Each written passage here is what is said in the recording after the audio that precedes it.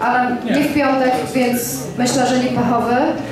E, wszystkich, którzy jeszcze nie mają krzesełka, informujemy, że jeszcze tam e, wiszą i można się porządzić. Bardzo mi jest miło przywitać Państwa na miesiącu spotkań autorskich w klubie Proza w gościnnych progach Wrocławskiego Domu Literatury. Naszym gościem jest dzisiaj Jakob Manstein. Pierwszy moderator już dotarł, Michał Dzień Nowak dobry Państwu, witam.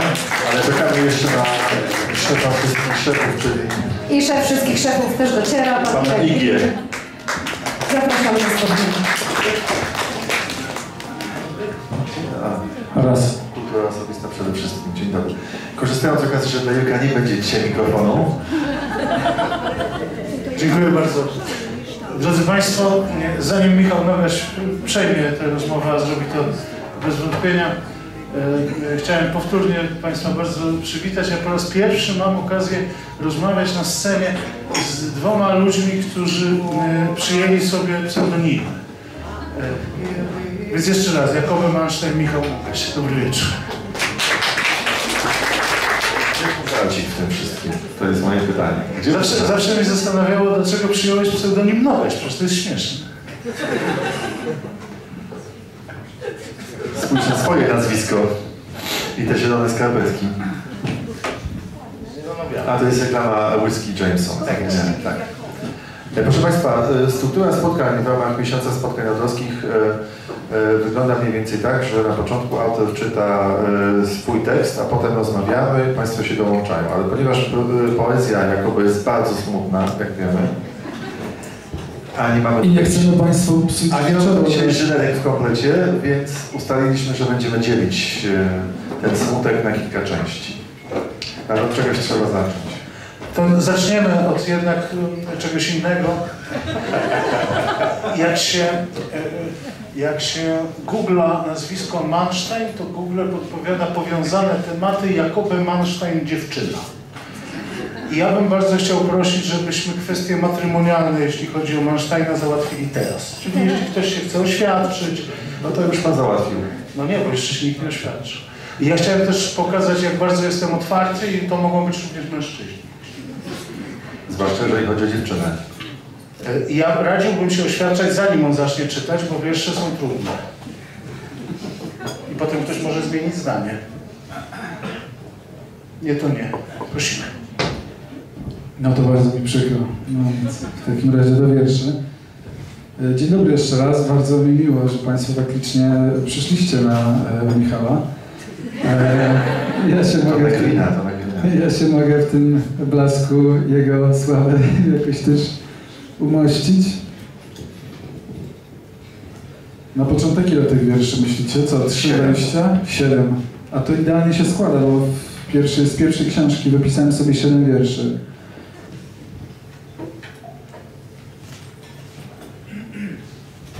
Ja proszę Państwa napisałem dwie książki poetyckie. Pierwsza nazywa się Wiedeński High Life. To jeszcze nie jest wiersz. E, a druga nazywa się Studium Przypadku. E, I myślę, że w całości zacznę od wiedeńskiego. Nie wiem, jak pytania się będą rozkładać. Ta jest bardziej aktualniejsza, więc ją może zostawimy na później. Narracja. Twój pen wierzył w wiele równoległych linii czasu, ale to i tak za mało. Siwy wierzy, wierzy w autobusy niskopodłogowe i że jak ruszymy dupy, to może jeszcze zdążymy. Robi się ciemno i ziemia zwija ciepłe języki blokowisk. Siwemu się takie metafory całkiem podobają, więc puszcza w obieg mokrego blanta i mówi dobre wiersze psują dobre obyczaje. Nie zdążymy. Siwy podnosi się z fotela i włącza muzykę, której prawie nie słychać, której nie słychać w ogóle, więc pyta, jak to gówno się włącza? Leżymy pewni swego, pewni podłogi, wykładziny, która teraz jest jak cmentarz. Siwy dotyka palcem czubka nosa i mówi, nie ukrywam, to ciało staje się obce. Uśmiechamy się, bo to śmieszne, bo wszyscy mamy tak samo. Za oknem tęże jagodowa galareta i siwemu robi się przyjemnie na widok tego, co sobie wyobraża. Twierdzi, że wiersze różnią się od poezji zapisem, bo poezji nikt jeszcze nie napisał, a on ją właśnie czuje. Wie, że najlepiej jest się zamknąć w ciasnej skorupie orzecha.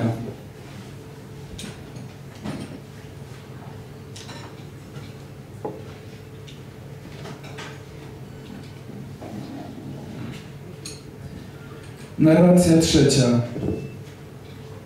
Niebawem runą osiedlowe kioski i podrobcy będzie trzeba gnać do Tesco. Siwy czuje niewidzialną rękę rynku i stopniowy upadek mniejszych form.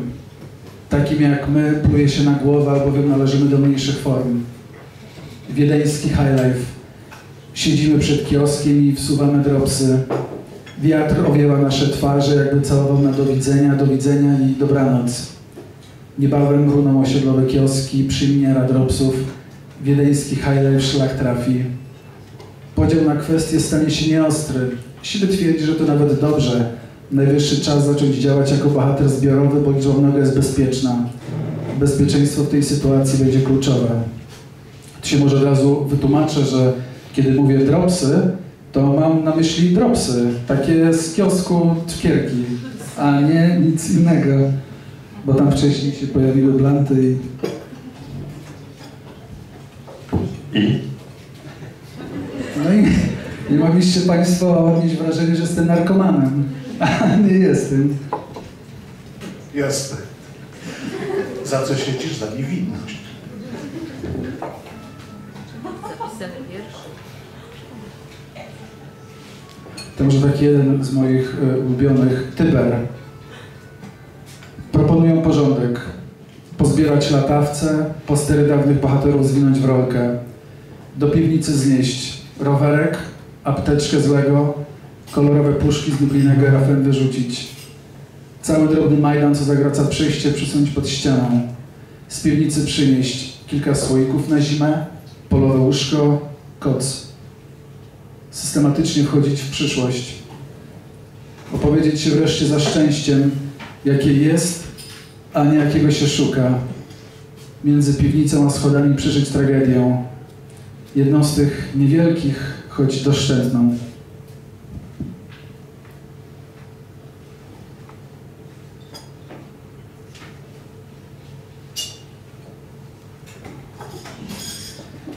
Wiersz nie o tym. Mówisz Boże Narodzenia. Myślę, coraz bliżej końca roku. Czas na rezumę, tak zwane nowe postawienie sprawy zdrowego żywienia i partycypacji w zagadkowym kulku Macieja. Inwentarz w dalszym ciągu martwy. Łóżko, sekretarzyk, telefon komórkowy na kartę. Dalej sól, Bóg Słońca, któremu ziemia wokół przesłania. Z salą też niewiele się zmieniło. Leży, gdzie leżała jak śnieg pośrodku grudnia, gorzka jak przedtem.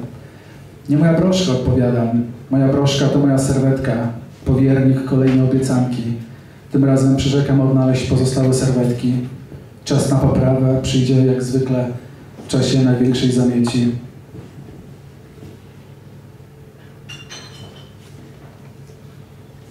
Tu mnie wątek broszki zainteresował bardzo. W którym roku to było pisane? Słucham jeszcze raz? W którym roku był ten wiersz pisany? Ten wiersz był pisany w roku, nie wiem, bo nie datuję, ale to musiało być na pewno przed wydaniem tej książki. Czyli, To jest logiczne. Książka czyli na pewno przed 2007. Bo jeszcze były telefony na kartę popularne, nie? No, ja mam w dalszym ciągu telefon na kartę. Także niewiele się zmieniło, jak... tak, o, e, tyle tylko, że musiałem go ostatnio zarejestrować, bo weszła jakaś ustawa, zapis i trzeba rejestrować, więc, więc ale jest w dalszym ciągu na kartę. Także ładowuję sobie 50 zł co miesiąc. Takim poważnym jestem przedsiębiorcą. Jakbyś chciał napisać nowy wiersz o tym, co się dzieje teraz, to już masz tytuł. Weszła jakaś ustawa. Możesz mieć taki początek. Podpowiadam tylko To może jeszcze taki wiersz, y, ballada o rzeczach żołnierza. Może krótkie wprowadzenie. Któregoś razu, wracając po nocy y, z imprezy, y, byłem trochę zmęczony i zgubiłem szalik.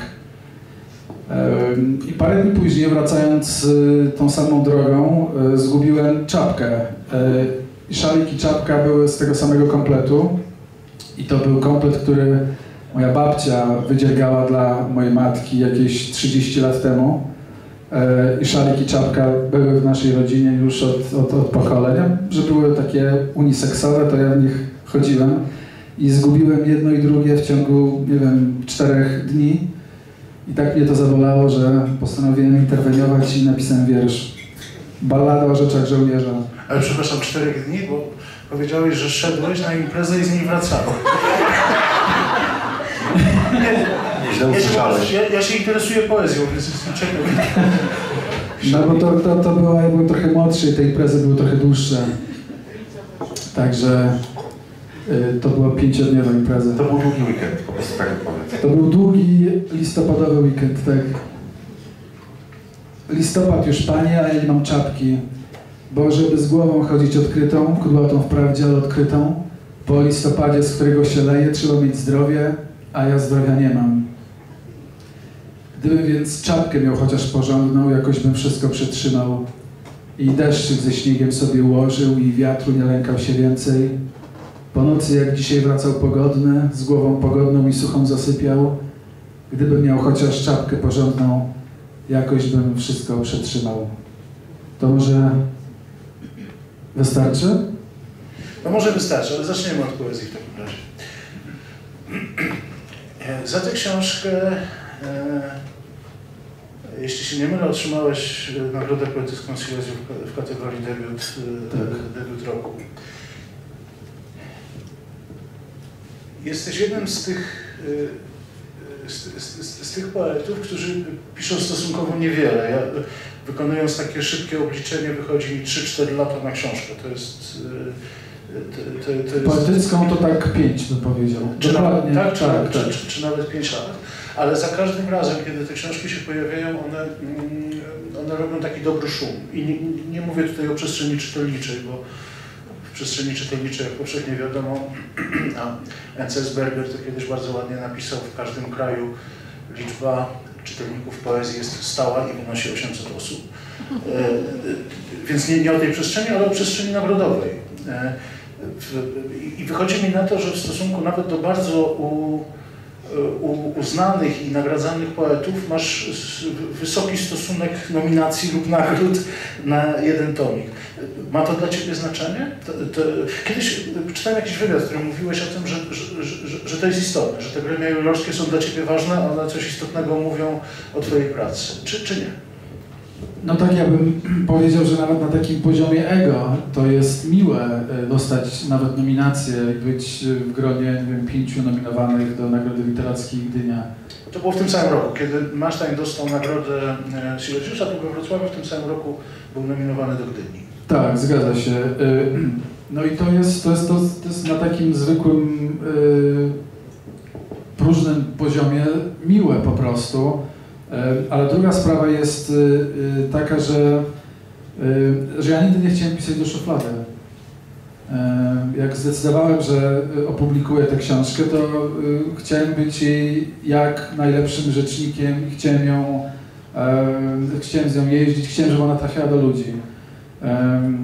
I nagrody spełniają taką funkcję. Nikt o tobie nie słyszy, nagle dostajesz Silesiusza, Silesiusa i sprzedajesz, nie wiem ile ja sprzedałem tej pierwszej mojej książki y, egzemplarzy, z 1500, może dwa.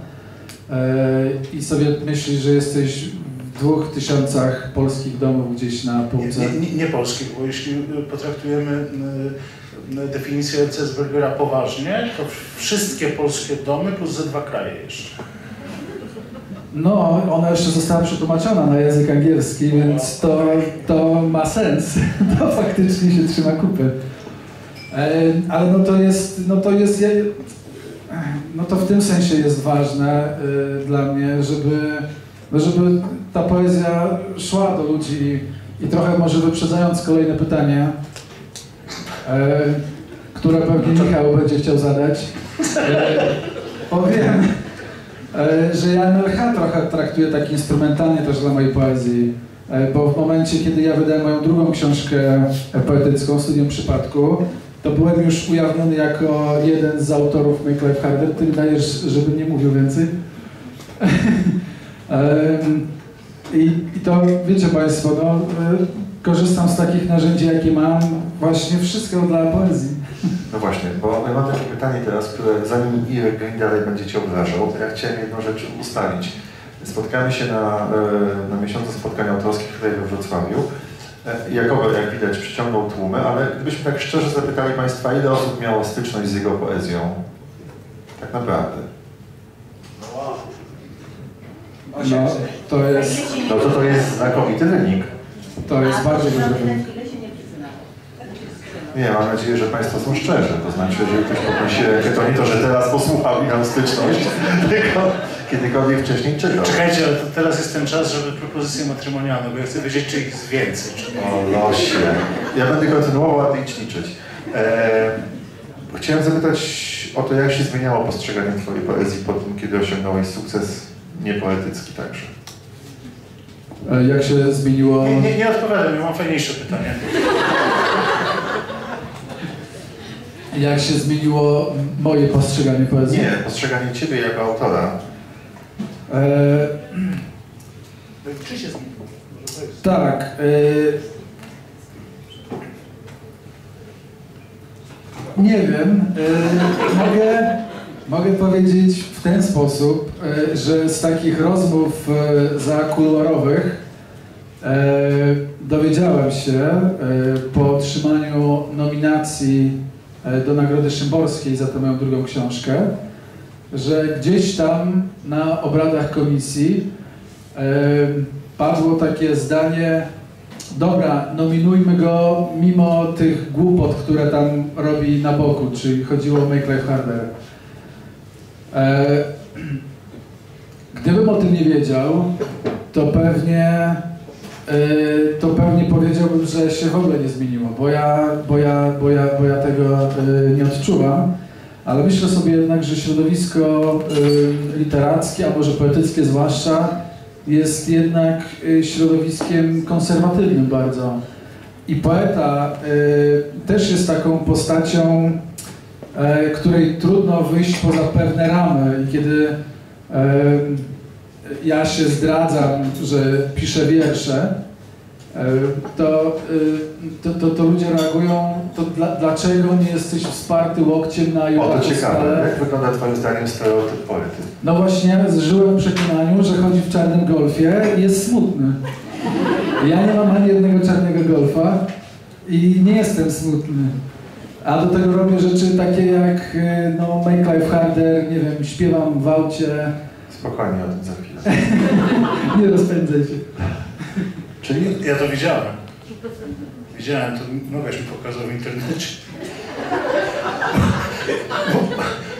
na Bo, bo, ja, bo, ja, bo ja proszę Państwa o tym, że poeta Manstein, który mnie interesował od czasu, kiedy debiutował, y, zajmuje się tymi głupotami w internecie, to się dowiedziałem stosunkowo niedawno.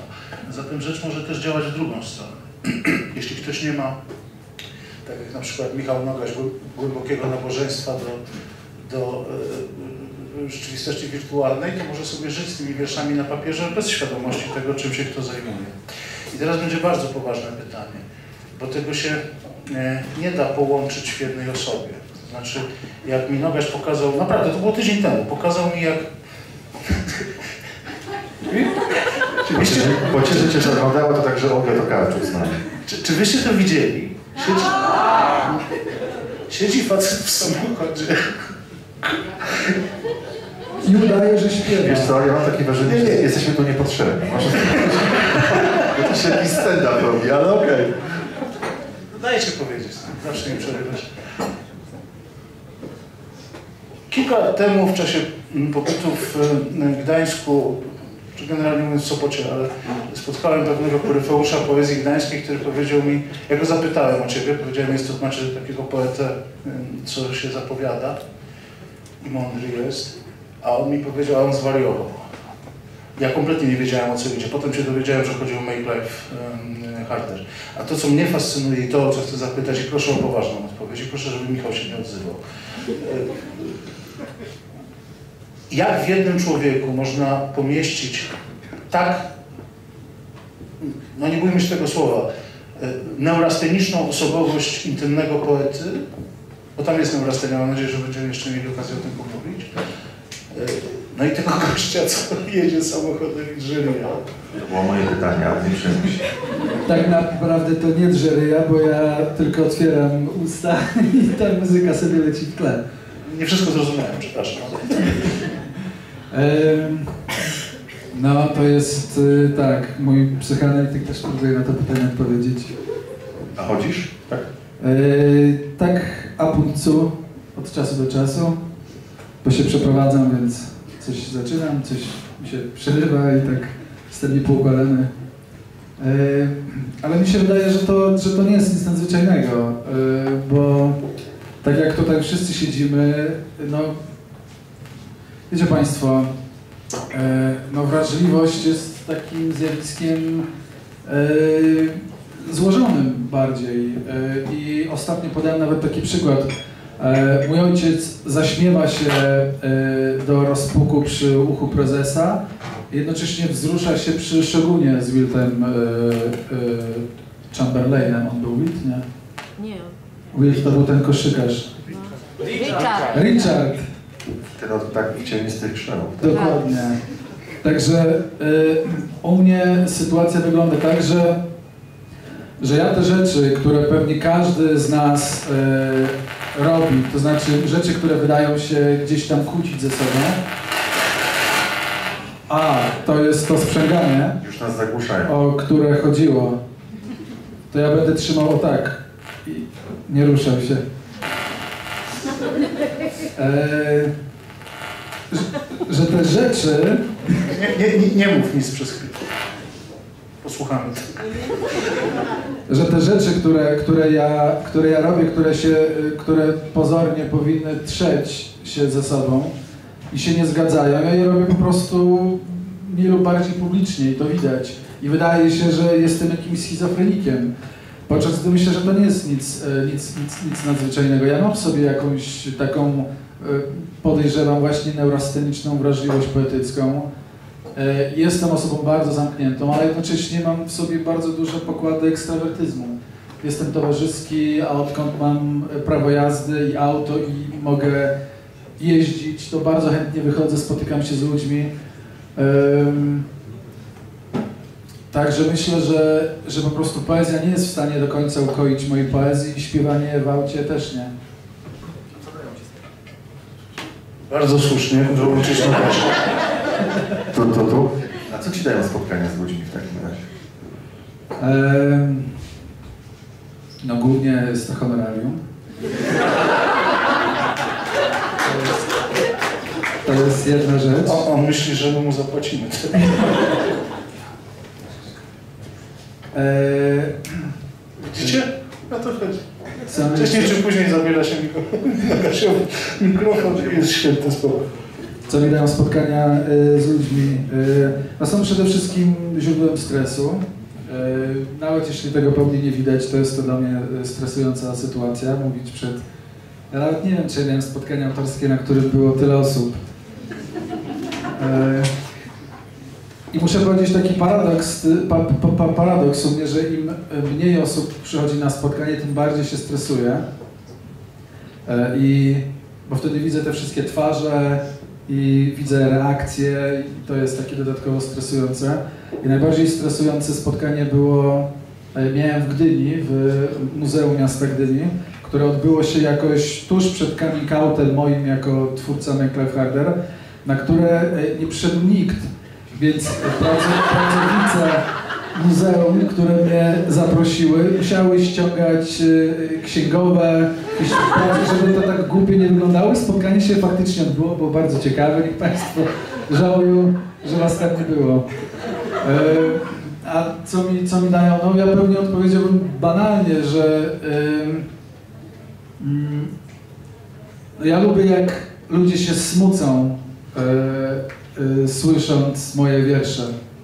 Lubię ten moment, kiedy e, kiedy kończę czytać wiersz i, i, i nic nie słyszę. Tylko po prostu jakieś buczenie mikrofonu. I wtedy mam wrażenie, że, że po to są e, spotkania literackie, żeby trochę tak w ciszy posiedzieć nad wierszami. moimi.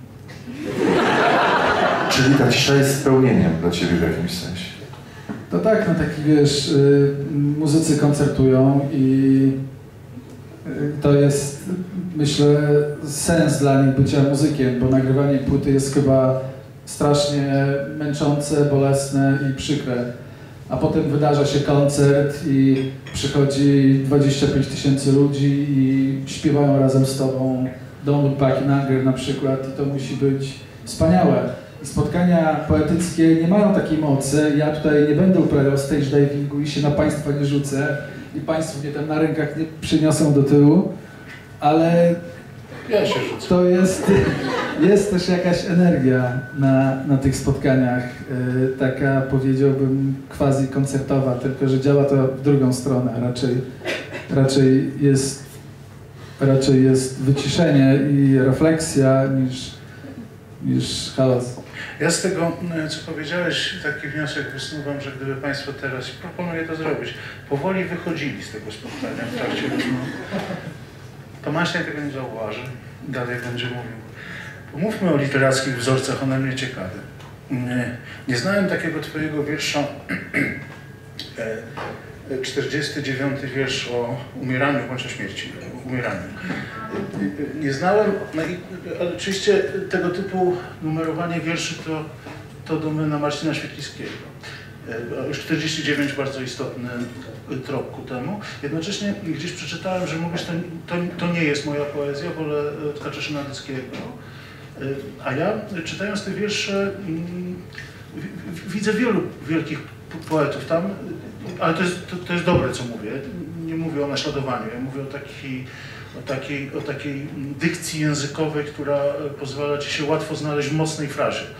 Prawda? Znaczy, e, piszesz wiersze, e, właściwie mógłbym przeczytać jedną linijkę i codziennie czytać jedną i nie potrzebowałbym tego wiersza jako całości, bo, bo każda fraza za, zabiera i ona jest, ona jest niezwykle mocna. To powiedz o, coś o tych mistrzach literackich, szczególnie, że w wielu miejscach mówisz publicznie, że tak naprawdę, nie wiem, oglądam filmy, nie, nie, nie czytam. No tak Czy- jest. Nie czytałem dużo.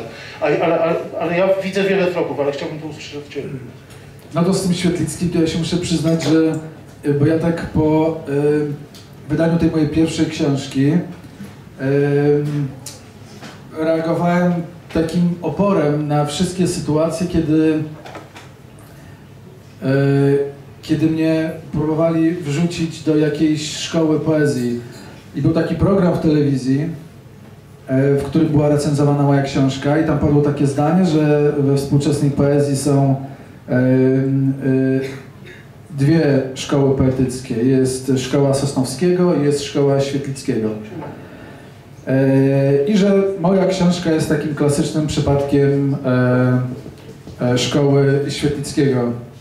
Ja trochę na zasadzie takiego oporu, ilekroć byłem pytany o moje wzorce literackie, odpowiadałem, że, że Marcin Świetlicki nie, podczas gdy prawda jest taka, że no ja oczywiście czytam Marcina Świetlickiego regularnie, tak jak Tkaczyszy Nadyckiego i ta jego fraza no jest mi bliska, nie ukrywam. E, mm, No bo wy wychodzicie z podobnego e, doświadczenia. U ciebie jest też dotykalność przedmiotu, osadzenie w miejscu, geografia miasta niezwykle, topografia powiedziałbym nawet. A zatem to może narzucać y, podobieństwa, ale trzymając się e, te- te- tego drugiego na słońcu drugim Boga, czyli Andrzeja Sosnowskiego. I, i, i Sosnowskiego tu czytam, to znaczy w, w, pewnym, nie traktuję tego jako zarzut, chociaż, chociaż pewnie mógłbyś, w pewnym przeintelektualizowaniu niektórych fraz. No tak, no, e, ja myślę, że to tak jest, że te y, wszystkie głosy, bo ja w pewnym momencie jak odkryłem, że poezja e, to nie musi być Leopold Staff i wysokie drzewa i przerabianie wierszy na e, lekcji polskiego w liceum, że to, że to jest y, piękna e, gałąź literatury, to zacząłem czytać na potęgę i te wszystkie głosy zaczęły mi się miksować, więc pewnie i Sosnowski gdzieś tam jest. E, Ale mnie do Sosnowskiego e, od Sosnowskiego odrzuca to, że e, przy całym oczywiście e, sz- szacunku dla pewnej e, umiejętności e, budowania nawet nie wiem czego, obrazów chyba po prostu, to ja, ja nie rozumiem e, Sosnowskiego. Nikt Sosnowskiego. E, ja, ja nie lubię też takiej poezji, ja nie lubię poezji lingwistycznej, e, dlatego e, Świetlicki o wiele bardziej do mnie przemawia. Tkaczyszyndycki nawet, który, e, który pomimo tego, że jest takim poetą opętanym, to, to też jest konkretny, tam są konkretne sytuacje. I, I mnie to w poezji pociąga. Opowiadanie jakiejś historii, a nie y, zabawy intelektualne, brandzlowanie się, jak powiedziałaby młodzież 12 lat temu. Bo już tak, tak się chyba nie mówi. Nie, 2005 liczyłem kiedy to było, przepraszam. E, także wydaje mi się, że, że jeśli te, te, e, te, te, te tropy y, czuć, to, to, to pewnie dlatego, że one tam są, że to jest efekt jakiegoś takiego remiksowania się tych wszystkich głosów w mojej głowie. E, No ale jednak zawsze sobie za punkt honoru stawiałem dorzucić jakąś jeszcze wartość dodaną do, do tego, y, co piszę i jak piszę. no, pe- pe- pewnie, dlatego jesteś poetą, a nie udajesz poety. Ja, ja, ja mam tego, znaczy jestem o tym przekonany. Ale moje pytanie nie szło tylko w stronę, w stronę poetyckich polskich wzorów, tylko literatury, którą w ogóle czytasz. E, No to ja przede wszystkim to proza, na pewno bardziej niż, niż poezja. E,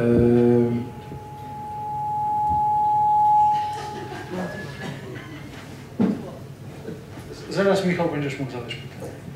e, Na przykład ja jestem z, z blokowiska, na blokowisku się wychowałem i tam było dużo takich em, nie było, nie było wtedy telefonu, więc my się po prostu bawiliśmy, tak konkretnie wychodziliśmy z domu i albo coś, nie wiem, psuliśmy. Mam nawet na koncie, proszę Państwa, włamanie do kiosku. Tak, ale to było bardzo dawno temu, e, ponad dwa lata temu, także to się nie. E, Także jakby dużo się e, w moim życiu tak konkretnie wydarzało i taka też mnie literatura pociągała. Pociągał mnie na przykład e, Hemingway, który teraz, nie wiem, wydaje mi się, że jest chyba niemodny, bo Dodajmy, że Ernest, a nie tako. e, Ernest, Ernest Hemingway, pamiętam Komu bije dzwon, jak przeczytałem, pomimo tego, że to była kniga chyba 600-stronicowa, to ta książka wydała mi się wspaniała. E, A największym moim odkryciem, mm, kiedy się przeprowadzaliśmy e, i mój ojciec pakował książki, mm, powiedział, synu, to jest książka, do której będziesz wracał wielokrotnie. To będzie najlepsza książka, jaką w życiu przeczytasz. No ja tak wrzuciłem to gdzieś tam, puściłem mimo uszu i po, em, po jakimś czasie za tę książkę chwyciłem i ona faktycznie okazała się najwspanialszą książką, jaką przeczytałem. Teraz proszę zgadnąć, co to była za książka? E, Z, z, e, z numerem w tytule. Paragraf 22. E, To taka aktualna książka jest. to jest taka bardzo aktualna książka. Myślę, tak. E, I na przykład takie książki na mnie, na, na mnie robiły wrażenie. Też dosyć wcześnie odkryłem Szulca. I te jego dziwne rzeczy też mi, się, też, też mi się bardzo podobało, pomimo tego, że one jednak szły trochę innym torem. To były rzeczy estetyczne, a nie rzeczy takie konkretne. Ale mnie, y, i z tego mam wrażenie wyrastam, pociągają, y, no, y, pociąga opowiadanie historii i to najchętniej językiem prozy. I myślę, że to w mojej poezji czuć, że to są jednak pełne zdania. I takimi też lubię mówić. Wspaniała puenta aktorska. A gdybym mógł zadać takie pytanie bardziej lifestyle'owe teraz w tej trudnej rozmowie o poezji, bo to pytanie o to, ilu jest Mansteinów w jednym Mansteinie, oczywiście ma też związek z tym, że na wielu polach się udzielasz bardzo aktywnie. Poza tym, że jesteś samozwańczym wokalistą bez głosu i programem poetą, to jeszcze robi się na rzeczy. Kiedyś jechałem, teraz ja będę długo mówił, żeby wyrównać tę liczbę minut dla prowadzących. E, Państwo W zeszłym roku jechaliśmy e, z Basią Klicką, świetną polską poetką młodego pokolenia, e, na festiwal OFF samochodem i tak ją zapytałem, proszę mi wybaczyć, jak długo się pisze wiersz? I co człowieka inspiruje, żeby napisać wiersz? I ona mi zaczęła opowiadać, że czasami jedno zdanie, jedno słowo chodzi za nią tygodniami, aż jej się to ułoży w jedną zwrotkę albo w tekst, który potem okazuje się być jej wierszem. I chciałem zapytać, też odnosząc się do tego, że ty powiedziałeś, że co pięć lat mniej więcej te książki wychodzą, jak długo się w tobie formułuje, w twojej głowie wiersz, który chcesz napisać? To może jest głupie pytanie, ale mnie to po prostu interesuje. i Tak Nie, nie, to jest bardzo mądre, świetne pytanie. Eee, Nie ciebie pytałem, ale dziękuję. Ja też uważam, że to jest bardzo mądre pytanie. E, Bardzo długo piszę i nigdy nie jest tak, że u mnie wiersz zaczyna się od e, zdania czy słowa, tylko e, od pomysłu. E, Proszę mi wierzyć albo nie, ale moja druga książka, to Studium Przypadku, e, ja któregoś razu usiadłem y, do kartki i sobie rozpisałem, o czym chciałbym, żeby moja druga książka poetycka była. I tak sobie dopisywałem kolejne wątki, kolejne tematy, pomysły na wiersze. I potem usiadłem i pisałem od pierwszego do ostatniego. I kolejność tych wierszy może jakoś nieznacznie uległa zmianie. E, więc po prostu usiadłem i napisałem książkę, na którą miałem pomysł. I to nie było tak, że e, jakiś tam daimonion duszek mi coś tam szeptał e, przez ramię, e, czy jakieś jedno zdanie e, za mną chodziło. U mnie tak nigdy nie jest. Jestem jeszcze, myślę, fatalnym e, materiałem na poetę, bo jestem średnio wrażliwy, czuję. I ja przegapiam momenty, które są być może mogą być dobrymi pomysłami na wiersz, czy, czy zdania, od których można by e, pociągnąć, e, pociągnąć wątek i napisać jakąś większą e, formę. Mnie musi coś po prostu uderzyć e, mocno e, między oczy. Ja z tym chodzę i zastanawiam się, e, zastanawiam się, jak to napisać. I najgorsze jest oczywiście zacząć. I dla mnie cały proces pisania jest niesamowicie bolesny i to też jest jeden z powodów, dla których piszę bardzo rzadko, ponieważ liczba możliwości, w jaką pójdę z pierwszym zdaniem, jest tak ogromna, że mnie to paraliżuje. E, I zastanawiam się w swojej głowie, czy wiersz będzie lepszy, jeśli pójdę tu, czy wiersz będzie lepszy, jeśli pójdę tu. Ja wiem, gdzie chcę dojść, ale liczba dróg jest nieskończona i to jest tak paraliżujące, że, że nie mogę zacząć. Dlatego piszę książki raz na pięć lat je wydaję. E, inną sprawą jest y, y, jest y, wydaje mi się chyba po prostu moje radzenie sobie z emocjami, że ja jednak to taki będzie trochę kozetka w tym momencie, ale że ja chyba w życiu uprawiam strategię ucieczkową Yy, i bardzo chętnie uciekam od emocji, zwłaszcza trudnych emocji. Próbuję gdzieś zasypać.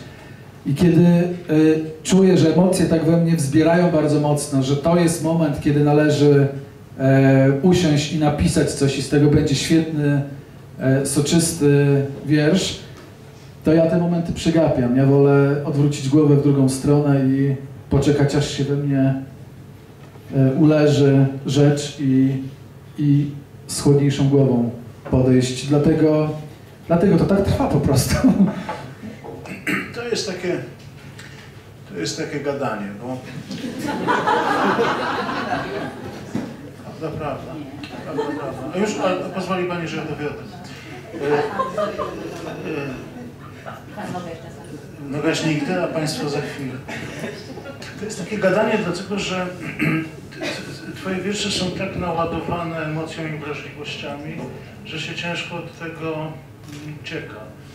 Em, Więc ja postawiłbym raczej taką, taką tezę, że być może uciekasz, być może e, rozluźniasz, ale pakujesz to w wiersz. To znaczy to, wiersz staje się e, formą terapii.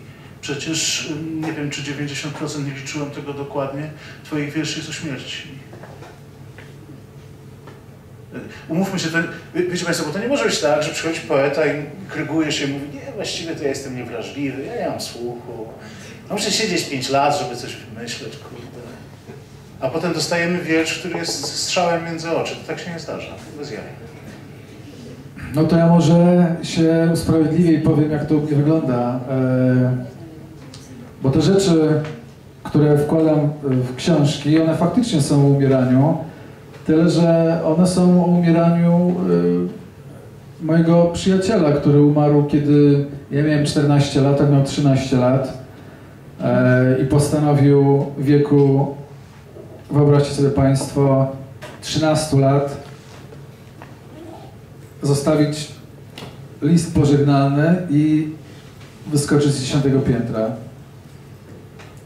No jak się wyskakuje z dziesiątego piętra, no to się nie żartuje. I on też nie żartował. E, I to było 20 lat temu. E, no ja czuję, że to nadal jakoś tam rezonuje we mnie oczywiście, ale ja po 20 latach już nie czuję tego samego, co czułem wtedy. Wiadomo, i, i ten temat się we mnie odkładał e, 15 lat, zanim, zanim wydałem moją pierwszą książkę. Także to trochę trwa jednak. I kiedy mówię, że jestem niewrażliwy, to, to myślę też o tym, e, ale się zrobiło ciężko, co?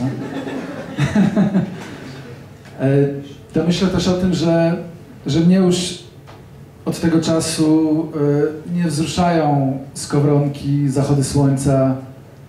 E, mnie wzruszają właśnie takie rzeczy, takie mocne rzeczy, walące między oczy, do których, no mówmy się, niepotrzebna jest jakaś wyjątkowa wrażliwość. Jak umiera ci przyjaciel w takim wieku, no to jeszcze w takich okolicznościach, no to nie, to, to, to nie są odcienie subtelności, to jest po prostu kopnięcie w grdykę.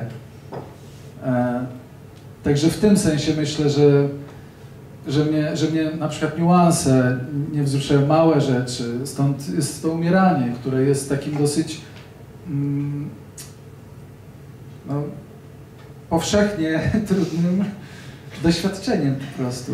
Więc w tym sensie nie czuję się nawet wyjątkowy jako, jako poeta.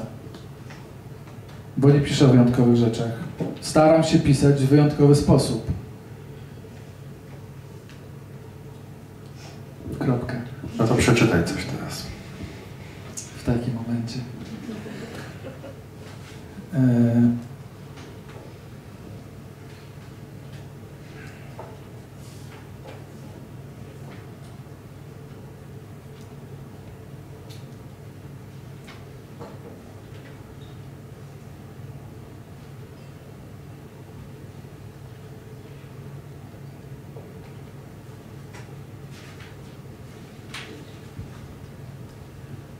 Wiersz o leżeniu w łóżku razem. To będzie wiersz miłosny. Wiersz o leżeniu w łóżku razem rozpoczyna się w Gdańsku na dworcu głównym. Jest późno, właściwie rano i dopiero teraz widać, jak niewiele się od wczoraj zmieniło. Gołębie, dworskie obstrajduchy ganiają się po gzymsach jak dzieci. Czerwona cegła nadal jest czarna i kruszeje jakby była z węgla. Sokiści po raz ostatni pana proszą, aby nie niszczyć własności spółki, bo gdzie się wszyscy podziejemy? Ja też się boję, więc wracam do gołębi, a ty? A ciebie jeszcze nie ma i czuję się całkiem jak kot z tego wiersza, bo nawet nie wiem, czy będziesz. Przychodzi mi do głowy pomysł, oba pomysły. Wkładam czapkę i kręcę się jeszcze chwilę.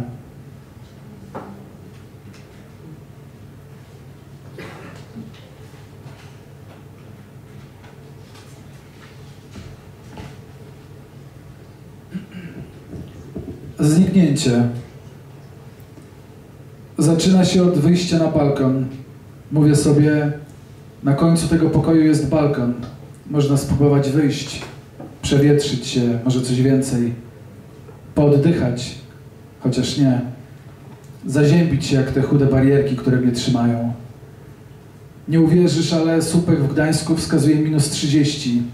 Zima dopadła nawet najlepiej ubranych, nawet najlepiej ubranych co jakby nas zbliża. Tutaj w Gdańsku sprawy mają się tak. nic nie jest na swoim miejscu, wszystko jest gdzie indziej. Nie macie kolejny miesiąc, kolejny miesiąc przewala się po mnie jak czołg. Podobno była wojna, podobno rozstrzelano wszystkie ucieczki. Miałem ci napisać, że już w porządku. Dużo wychodzę, powoli wracam do siebie. Próbuję odespać, tylko ten wiecznie cieknący kran jest za głośno. Zaczyna się zniknięciem. Nie panikuję. Mówię sobie, rzeczy dzieją się nadal. Śniadanie, studia, przyszłość. Że mogę zaczekać, bo nic nie jest na pewno. Że zaczekam. A kiedy znów nie przyjdziesz, wyjdę na balkon odszukać cię gdzieś pomiędzy dworcem a napisami końcowymi. Upewnić się, że to, czym bolisz, ten mały kamień między palcami w bucie, to wciąż nagroda.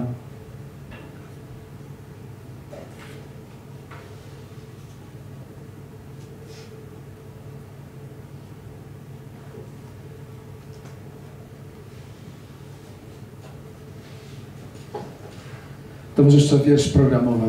I tu może też taka krótka historia, bo wiersz jest o tym, że jak się przeprowadziłem e, z blokowiska na Żabiance do domu jednorodzinnego w dzielnicy e, Oliwa w Gdańsku, e, to czułem się jak w raju, nie tylko dlatego, że się z małego mieszkania przeprowadziliśmy do domu, ale też dlatego, że na mojej ulicy, stosunkowo krótkiej, były chyba cztery księgarnie. I tak się odbijałem od jednej do drugiej. Em, I potem nastąpiła dżuma. I najpierw zamknęli jedną księgarnię i otworzyli tam sklep z produktami benedyktyńskimi. Potem otworzyli Meritum Bank w drugiej księgarni. No i w trzeciej otworzyli cukiernię. I kiedy otworzyli cukiernię w ostatniej księgarni w Oliwie, postanowiłem, że trzeba coś z tym zrobić. I napisałem wiersz. Wiersz programowy. Odkąd zamknęli księgarnię i otworzyli nową cukiernię, żaden ekler nie przechodzi mi przez gardło. Moja dziewczyna, która odeszła na dobre 14 miesięcy i 6 dni temu, nie twierdzi, że można z tym wygrać, ale że można się zgodzić. Całym tym dymem kręcą faszyści, których gówno obchodzi szerokim łukiem. Takich mają prawników. Tymczasem przebrała się miarka. Należy odstawić miękkie narkotyki i trzeźwym wyjść na miasto.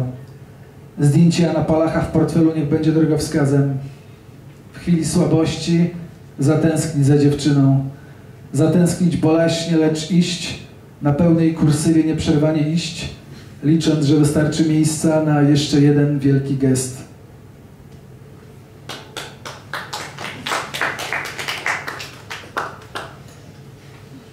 Widzisz, jak na koncercie.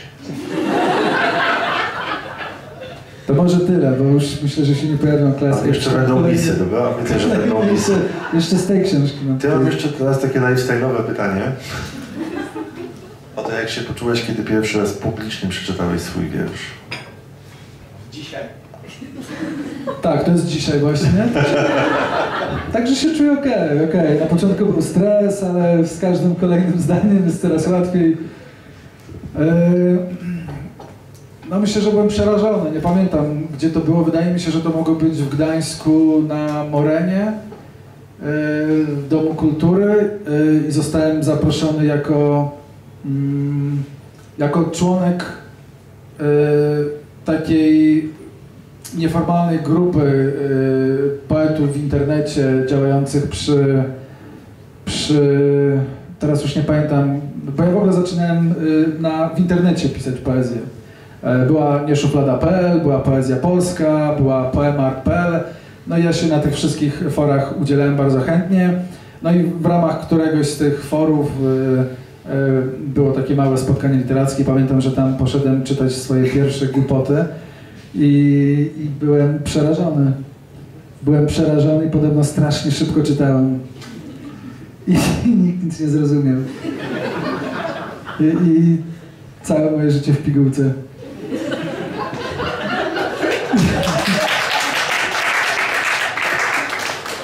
To w sumie było wierszem powiedziane teraz, to by mógł być wiersz. To. Mam nadzieję, że ktoś to rejestruje, to widzę, także ja sobie, ja sobie to To potem jest, spiszę, transmito, to jest w tej chwili transmitowane. Być może na wersję. oglądają Cię na Morenie w Gdańsku, wiesz, to jest...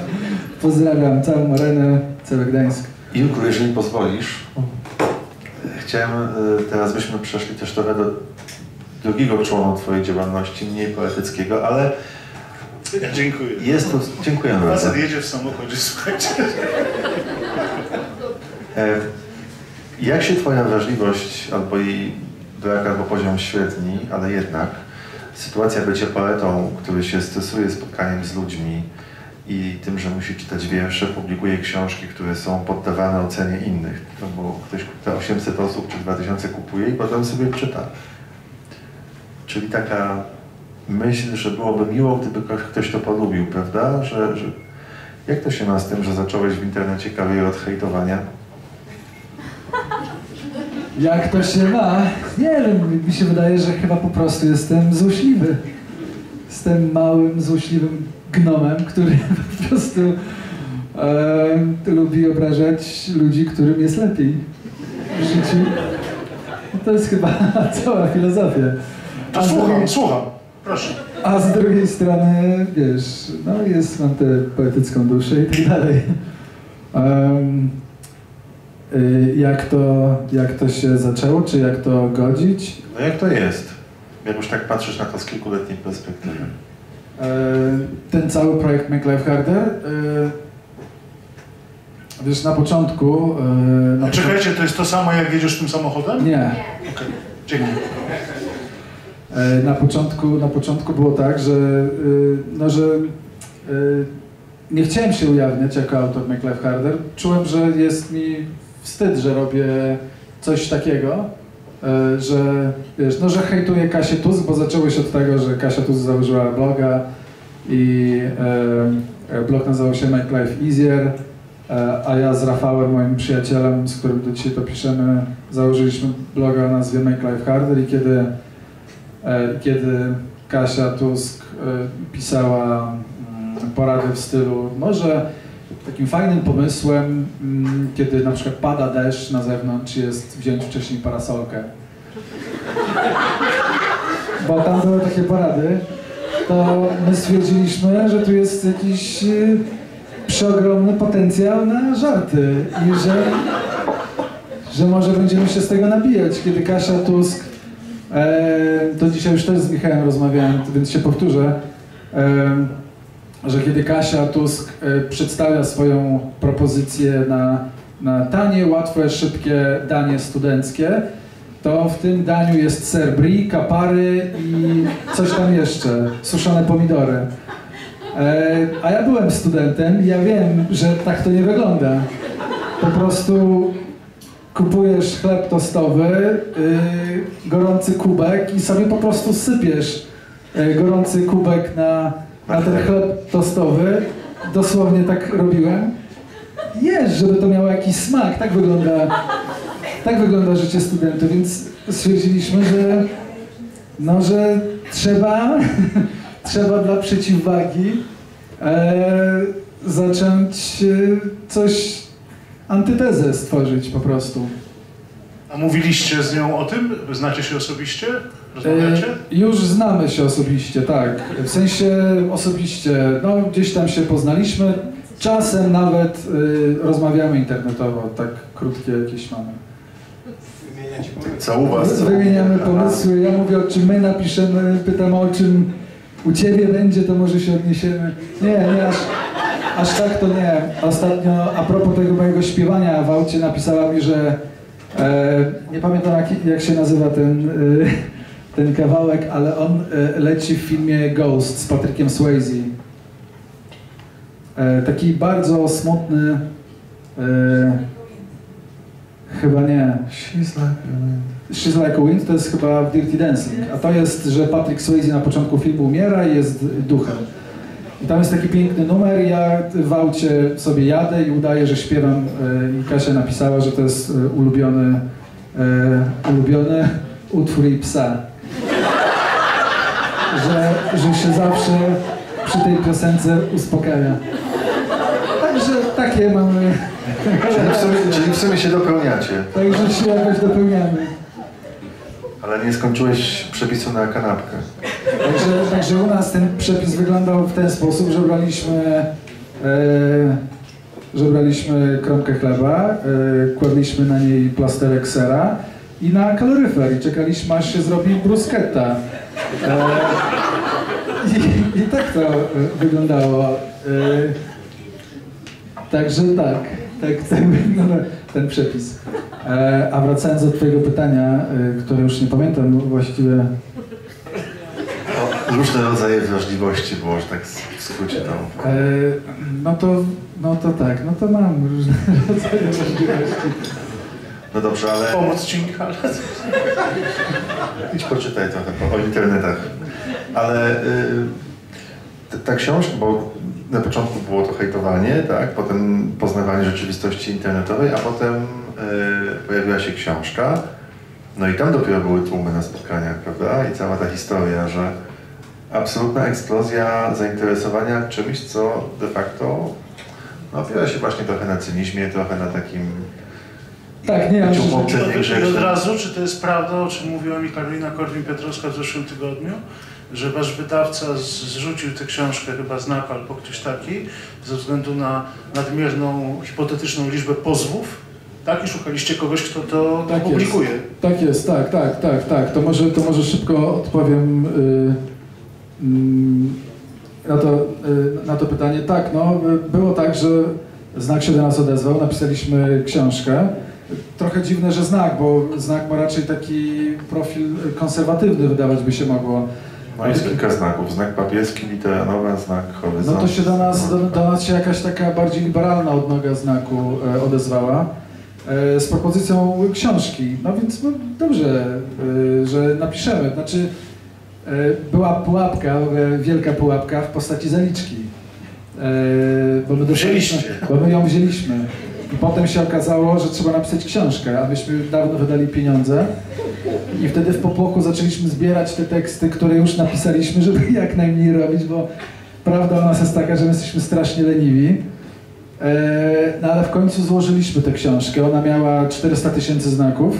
E, I 400 tysięcy znaków w znaku. 400 tysięcy znaków w znaku. I, ym, I zmierzam do tego, że mm, na etapie prac redakcyjnych już się pojawiły e, problemy. Nasza redaktorka e, sugerowała, że może żarty z kościoła powinny się y, gdzieś jednak albo je złagodzimy, albo może wyrzućmy. E, Gdzieś tam pojawił się żart z pedofilii w kościele, że no, że tak nie jest, wiecie, to nie jest cały kościół. Mówimy, że wiemy, że to jest po prostu przerysowana sytuacja. No i tu się musieliśmy. I y, celebryci. W książce pojawia się bardzo wiele nazwisk celebrytów. E, na przykład takie żarty jak e, z Kuby Wojewódzkiego, że kiedy Kuba Wojewódzki, e, że ma tak wielkie ego, e, że nie pamiętam już jak ten żart leciał. Ale że Puenta była taka, że ma bardzo wielkie ego i że kiedy jego ego podchodzi do lądowania w Trójmieście, to się ostatnio zderzyło z jakimś Boeingiem czy coś takiego. No i oni, no że nie, że to jest pozew, e, e, że to jest atak personalny i tych, i tych, i tych, i tych obostrzeń było coraz więcej, coraz więcej, coraz więcej. I ostatecznie powiedzieliśmy, że basta, że nie może być tak, że nam proponujecie książkę i nagle kastrujecie ją ze wszystkich fajnych żartów. Bo ten żart o wojewódzkim, wbrew temu, jak go teraz powiedziałem, on był dosyć zabawny. No i wydawnictwo powiedziało, no, że skoro tak, to dziękujemy wam. Oddaliście kasę? E, I musieliśmy oddać kasę. I byliśmy przerażeni, bo my jej nie mieliśmy.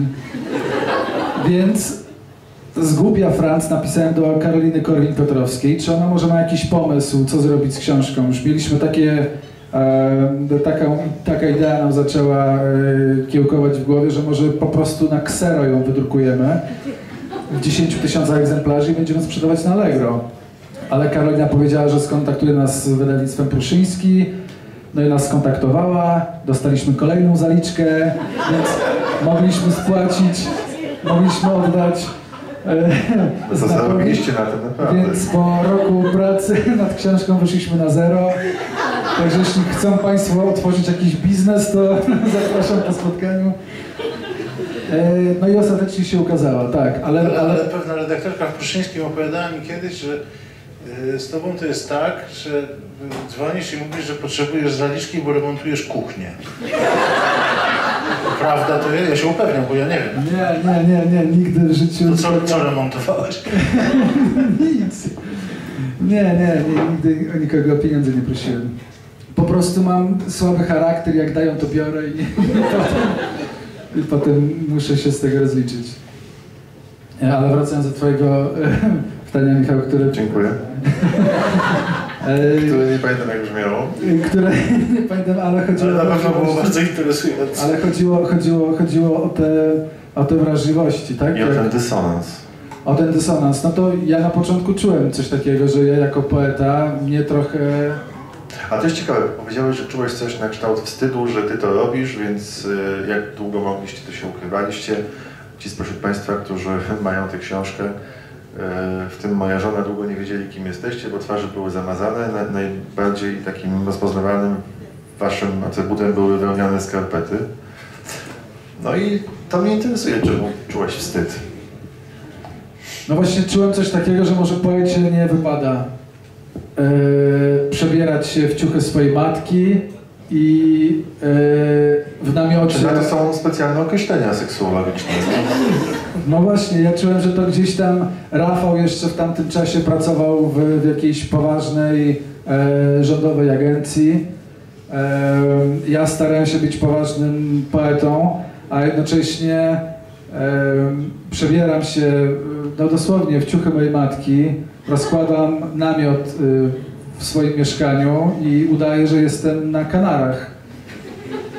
I to trochę głupio wyglądało, gdybym nie miał zamazanej twarzy. Ja mam nadzieję, że, e, że, że te zdjęcia nigdy nigdzie nie wyciekną. Tylko ja je mam, nawet Rafał ich nie ma, bo się boi, że może gdzieś byśmy byli, myślę, pomimo tego, że wiadomo, że to jesteśmy my, to skompromitowani, no bo to było jednak trochę niepoważne. I w tym sensie e, w sferze takiej tekstowej, to ja czułem, że to nie jest złe, tylko że my jednocześnie trochę pajacujemy. Jesteśmy, jesteśmy klaunami trochę na potrzeby tego projektu. I, I trochę nie wiem, czy mi się to zgadzało po prostu w głowie. Tutaj poeta nominowany, nagradzany i jeżdżący na poważne spotkania autorskie, a z drugiej strony taki pajac. I czułem, że tu gdzieś jest ten dysonans. To teraz zaskoczymy Julka pytaniem o to, czy on wie, bo być może niektórzy spośród Państwa wiedzą, jakie słowo do języka polskiego wprowadzili panowie z Make Life Harder. Masz trzy próby, tak. Jakie to jest słowo? Kuchnia. Zaliczka. Dysonans. Pudło. No więc proszę Państwa, to nie jest tak, że my jesteśmy, że my to słowo wymyśliliśmy, ale jeśli e, prześledzić wzrost popularności tego słowa, to to się idealnie zgrywa z, z, z naszym jakby z boomem na Make Life Harder. I to było słowo klucz e, pierwszych lat naszej działalności. I tym słowem był piąteczek. I, i tym słowem był piąteczek. Eee, piąteczek to jest pieszczotliwe określenie piątku, e, które temu piąteczkowi nadaje taki. E, no cała filozofia jest wokół tego. Wyjaśnij proszę, osobom starszym, wyjaśnij. piąteczek, no, za, zabawa, nic nie pamiętasz, piąteczek, wiksa, wychodzisz z Gubisz czapkę, gubisz szalik, piąteczek. gubisz czapkę, gubisz szalik i my, i my to słowo e, no, się u nas pojawiało regularnie te 7 lat temu e, i te nasze piątkowe, piąteczkowe teksty zawsze się cieszyły największą popularnością i nagle w którymś momencie mam wrażenie, że w internecie wszyscy zaczęli tak mówić. I czujemy się trochę z Rafałem. To pewnie można gdzieś tam na tych wykresach, słupkach sprawdzić. Jeśli Państwo nie wierzycie, to e, czujemy się trochę ojcem chrzestnym popularności tego słowa. No to gratuluję, tylko czekać aż wszyscy zaczną się ubierać w skarpety mam teraz. Myślę, że to ten, ten projekt nie przeszedł. To się nie udało. Mogę o coś poważnego zapytać, czy dalej wiecie takie...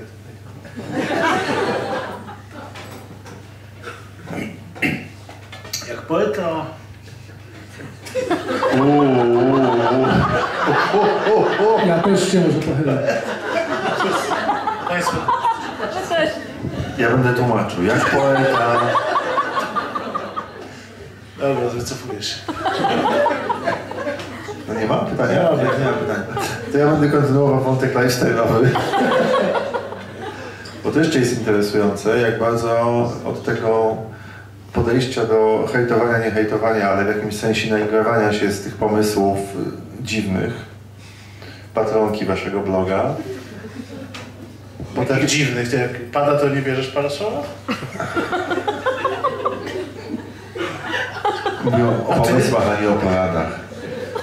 Potrafiliście ogarnąć e, swoim podwójnym rozumem przestrzeń całej Polski. To znaczy w pewnym momencie uciekliście od jed, jednego tematu opowieści i zaczęliście opisywać przestrzeń wspólną, w której żyjemy, w swoim oczywiście stylu.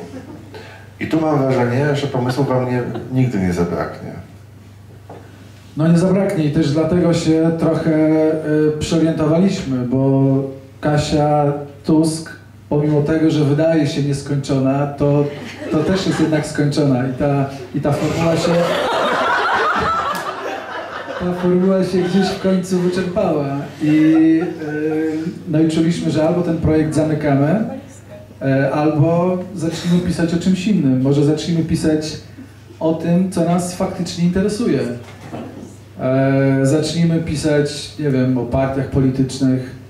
E, zacznijmy nagrywać się z, z Warszawki, z, nie wiem, z branchu, e, z mody na, e, nie wiem, nie wiem, na New co. Balance.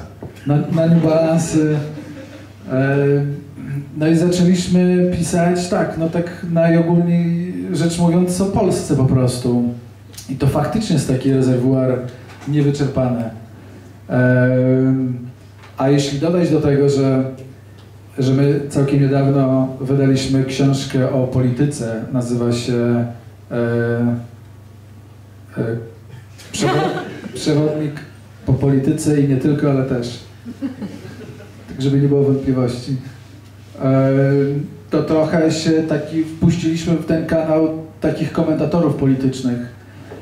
I o ile jeszcze za e, rządów e, poprzedniej partii, czy poprzednich partii, ten temat był trochę taki przeźroczysty, polityka była mało widoczna, tak teraz ona jest na pierwszym planie i to jest taki To też o tym dzisiaj mówiliśmy, że nawet jak jakiś poseł, szeregowy poseł gdzieś tam z trzeciego rzędu e, z partii e, rządowej coś powie, to to jest news dnia. E, Tak bardzo ta polityka i to wszystko, co się wokół niej dzieje, stało się ważne. I to też jest dla nas y, wspaniały koń. I my wsiedliśmy na tego konia i sobie jeździmy na nim od, od, y, od dwóch lat, ale, ale nie tylko to, bo my właściwie wszystkim się zajmujemy. E, piłka nożna. Ilekroć Polska gra e, ważny mecz, my piszemy list otwarty. Każdy mecz Polski jest ważny. Każdy, każdy mecz Polski jest ważny, ale jak gramy już takie bardzo istotne mecze. mecze,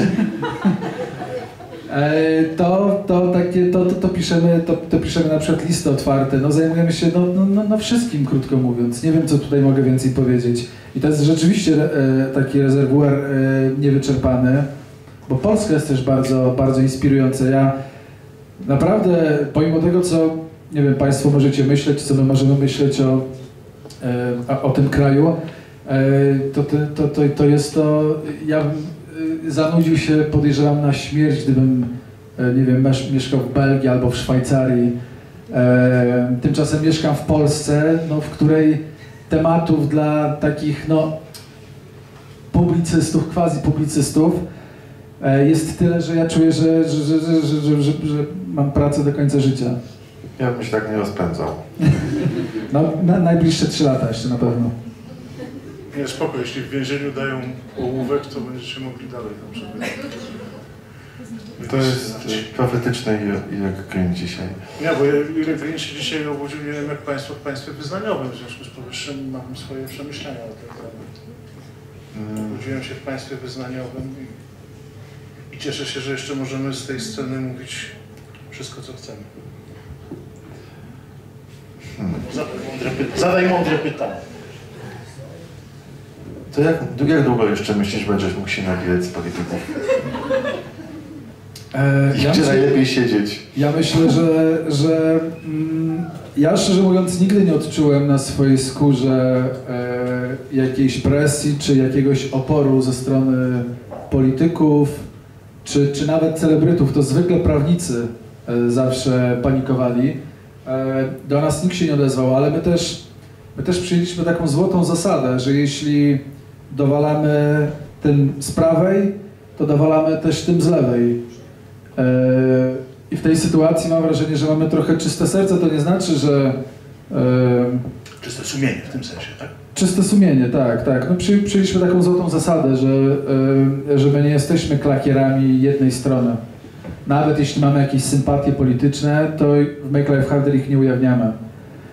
Bo to nie jest, bo to nie jest medium do tego.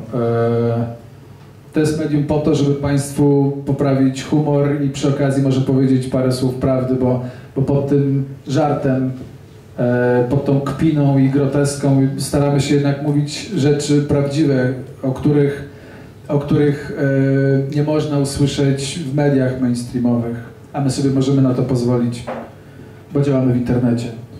To za chwilę oddamy Państwu głos, ale jeszcze mam jedno pytanie. Ono ma związek z Twoją działalnością muzyczną, czyli jest ulubiony wątek Ilka.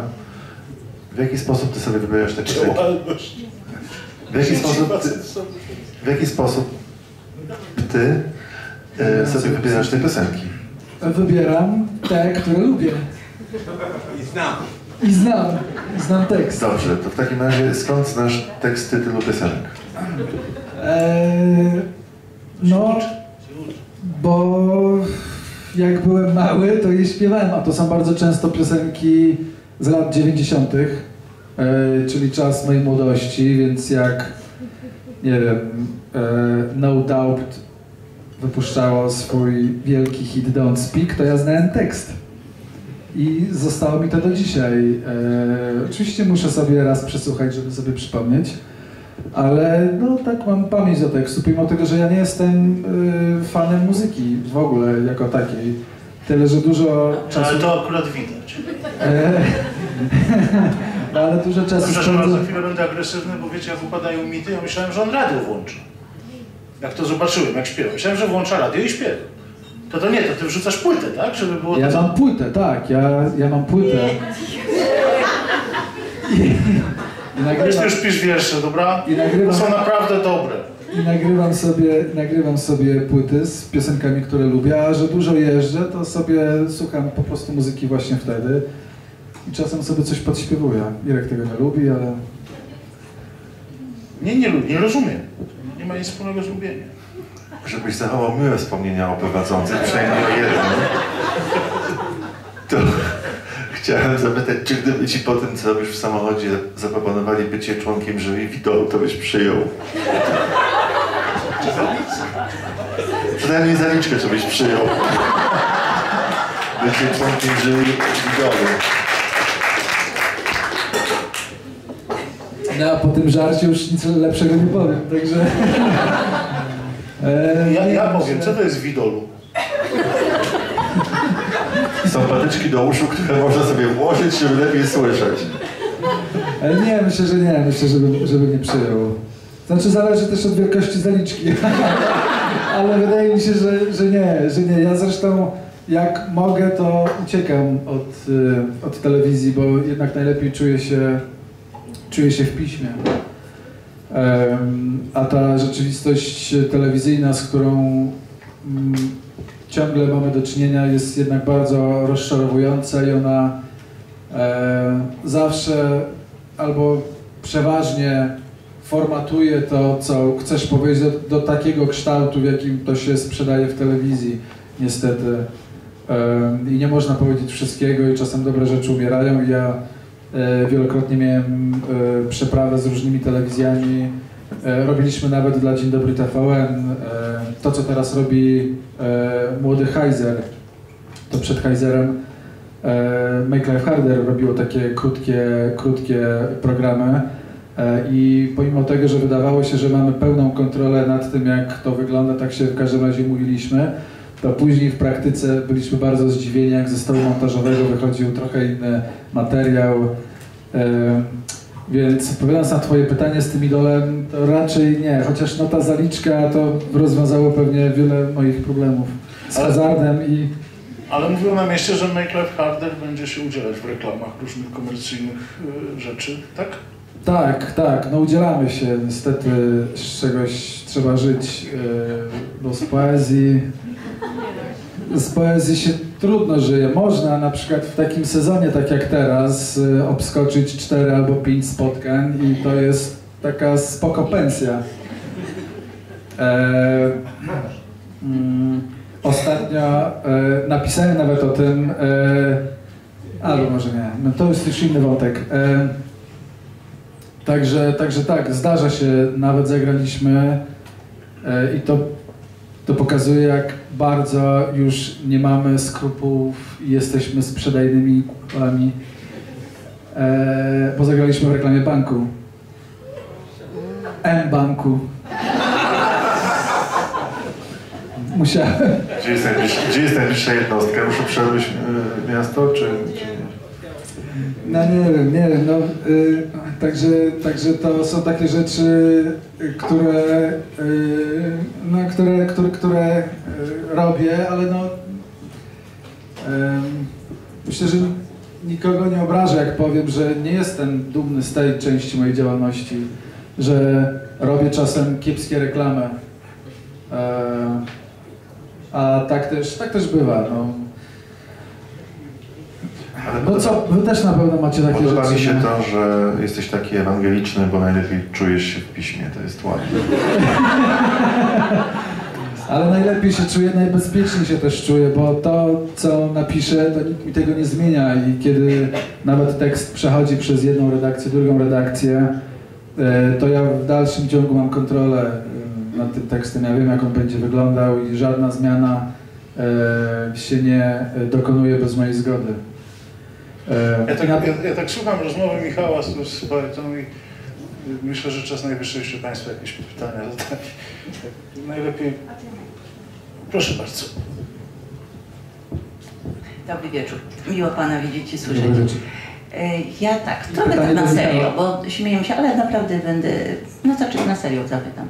E, Pierwsza rzecz strasznie mnie dziwi, że facet, który siedzi i śpiewa w samochodzie, choćby to był nawet poeta, budzi takie emocje. Matko kochana, co w tym dziwnego? Okej, ale... Ja Pani doskonale rozumiem, żeby to było jasne. Dobrze. A teraz mam takie pytanie dotyczące tego pierwszego zdania. Bo tak, po pierwsze od razu mi się otworzył bohater z y, dżumy. Jest tam taki facie, prawda, który y, no, próbuje napisać książkę i to jest ciągle pierwsze zdanie. Tak. I nie, ale to jest coś, ja mówię, że jaka to jest rzeczywiście, mm, jaki to jest trud, jakie borykanie się, w jakim kierunku to wszystko może pójść. Dobra, nie wiem, To nawet było w mowie noblowskiej Szymborskiej. a, y, też, ale I w ja myślę, że... I w Tak, dokładnie. I w pewnej, u pewnej czternastolatki, która Pośród pisze... ogrodu siedzi ta królewska para. Pamiętam No to zawsze. właśnie. No w każdym razie świetnie. Można by z tego książkę ułożyć nawiasem z pierwszego zdania. Ale drugie moje pytanie, znaczy pytanie, taka, taki komentarz do tego. E, proszę sobie wyobrazić, że przeczytał Pan dzisiaj wiersz, który ja kiedyś też czytałam i zaczynamy się nad jednym zdaniem. Dobra poezja, tak, e, psuje dobre obyczaje. Dla mnie, co jest bardzo prosta i rewelacyjna definicja, po co jest poezja i dla kogo? Wiecznie stawiane pytanie, tak? Świetne. Nie będę tłumaczyła, bo Pan ma swoją interpretację, m, pewnie może zbliżoną do mojej, ja swoją. Ale zapamiętałam to zdanie. A jeszcze mm, jedna sprawa, sprawa tego Pana, no też nie, ja nie mogę pojąć, żyję trochę na tym świecie. Y, jak, dlaczego coś tak strasznie ma kłócić ten Pana blog, ta książka, która moim zdaniem jest kapitalna, znaczy kapitalna i to jest jej blog, który czytuję czasem, czyta rzeczywistość i w sposób inteligentny, nieprawdopodobnie, ze świetnym zacięciem, żartem, z taką umiejętnością to komentuje. Kasia Tusk byłaby tak dla mnie, moim zdaniem, pretekstem. A to, co powiedział redaktor Nogoś, że, to się po prostu rozlało potem na takie fantastyczne czytanie właśnie tego świata, nie tylko naszego skądinąd. I dlatego no, to, to jest kapitalne. A pytanie mam takie do Pana. Coś Pan napomknął, tak, tutaj króciutko, ale nie wiem, czy może się przesłyszałam, że Pana tak ciągnie w kierunku e, prozy. Niekoniecznie, czy, czy dobrze usłyszałam, czy nie? Tak, tak, ciągnie mnie, ciągnie mnie. W ogóle dziękuję, to bardzo miłe było słyszeć coś takiego. Yy, I to nie jest Dwie tak, że... minuty komplementów. Dwie minuty komplementów. To nie jest tak, że ja się y, ciągle wstydzę. Ja wtedy na pewnym etapie jeszcze z tą taką warstwą graficzną naszej działalności uznałem, że to gdzieś tam się kłóci, ale w tej warstwie tekstowej to zawsze, zawsze dbaliśmy z Rafałem o to, żeby to były po prostu dobre teksty, których nie musimy się wstydzić. Em, a jeśli chodzi o prozę, to, to, to, to mam taką, ciągnie mnie oczywiście w stronę prozy i myślę, że w końcu napiszę książkę prozatorską. Napisałem nawet książkę prozatorską, e, zbiór opowiadań, e, którego nie chcę wydać ciągle, e, bo czuję, że coś tam jeszcze nie gra i tak chodzę od długiego czasu. Niestety u mnie te książki piszą się bardzo, bardzo długo i to nie, to nie jest tylko poezja. Nawet proza, która wydaje mi się jednak e, językiem łatwiejszym e, niż język poetycki, też mi się pisze, też mi się pisze długo, ale myślę, że w ciągu najbliższych 15-20 lat wyjdzie jakaś moja książka prozatorska, także Był, był kryminał na pół strony, nie? Tak, to jest w ogóle moja pierwsza książka. Moja matka pracująca y, kiedyś, ówcześnie w, w stoczni, y, przyniosła maszynę do pisania mm, na weekend, bo miała jakąś zaległą pracę do wykonania. I, I to była taka nowa maszyna z takim korektorem, y, takim wbudowanym, że tam się coś przesuwało, się Na zaznaczało. Banco Olivetti. Pewnie tak. I była taka kremowa, kremowa, są Olivetti. Tak, E, też. I przez dwa dni i, i przez dwa dni ta maszyna była u nas w domu. Moja mama bardzo szybko zrobiła to, co miała zrobić. Ja przez dwa dni się bawiłem i pisałem swoje głupoty i napisałem na pół strony kryminał. I pamiętam, dzisiaj też z Michałem o tym rozmawialiśmy, ja byłem wtedy, e, miałem taką fazę fascynacji filmów z Jean-Claude'em Van Damme. Z tego co pamiętam, a tekst się nie zachował, e, ten kryminał na pół strony był o pół człowieku, pół robocie, który rozwiązuje zagadkę kryminalną. Ale wiesz co, gdyby, gdybym był menadżerem tego miejsca, w którym jesteśmy, to bym od razu wykorzystał twoje hasło, że ciągnie mnie w stronę prozy. Miejscu. Można, można mnie cytować. E, Podpowiedź. Dobrze, już Państwu oddaję mikrofon, tylko Pani jeszcze odpowiem, co jest tak bulwersującego w tym, że facet w samochodzie... Otóż oczywiście nie ma w tym nic bulwersującego, ale proszę sobie wyobrazić sytuację, że wszyscy faceci, którzy tak robią, to emitują w internecie. Proszę sobie to wyobrazić. Ale pani nie ma z tym problemu, jakbyś nie zauważył. 3 miliardy filmów gości w samochodzie. Bardzo. najlepszy wygrywa. Czy ktoś jeszcze spośród Państwa ma pytanie, do którego prowadzący nie będzie się odnosił? Jestem gotowy, żeby podawać mikrofon. No ja się przez chwilę zastanawiałam, czy zapytać o poezję, czy może bardziej pytania lifestyle'owe, ale ponieważ redaktor Nogaś ma tutaj mniej jednak do powiedzenia dzisiaj, to pytania lifestyle'owe można... Więc em, ja akurat siedzę naprzeciwko pana poety, nie wiem czy wszyscy mają taki uroczy widok, Mm, ale widzę tatuaż. Tatuaż, który jest no, chyba symboliczny, jak sądzę, w Pana wypadku, więc ja zapytam o tatuaż. Dlaczego akurat taki? Najpierw go pokaż Państwu wszystko. No nie. To jest ten tatuaż i to jest y, Don Quixote. Y, I nie wiem, czy chciałbym opowiadać o Jak poznałem Cervantesa. Dobra, mamy załatwioną tą odpowiedź. y, co on znaczy i tak dalej, ale jest to faktycznie y, Don Quixote, który wydaje mi się wspaniałą postacią literacką. Trochę empatyzuję z nim od, od wielu lat. y, Na takim poziomie nawet e, do tego, co robię. Zająłem się poezją, czyli trochę żyję w świecie swojej fantazji i, e, i na tym koniku sobie biegnę w stronę niewidzialnych wiatraków. Myślę, że, myślę, że na tym skończę. Nie, nie, chciałbym, bo on ma dla mnie taki wymiar osobisty bardziej, ale, ale jest to faktycznie Quixote. I I niezmywalny. jest niezmywalny, tak, tak. To nie jest, pomimo tego, że estetyka jest taka nina, to, to nie narysowała tego moja bratanica, to się, to się nie zmywa. Mhm. Ja przypominam, że Don Quixote to postać. Prosimy o pytania. No, chyba już wszyscy się boją, wiesz? A, tu jest informacja od Olgi, że musimy kończyć. Proszę Państwa, to ja mam jeszcze jeden komunikat na, yy, na teraz, bo będzie jeszcze drugie spotkanie w klubie Proza w ramach miesiąca spotkań autorskich za tydzień o tej samej porze. Gościem naszym będzie Elżbieta Herezińska, która właśnie wydała nową książkę. I to spotkanie poprowadzą Irek Green i Irek Green. Bardzo Państwa serdecznie zapraszamy. A dzisiaj tu z nami Jakobem Einstein. Dziękujemy Państwu bardzo. Bardzo dziękuję.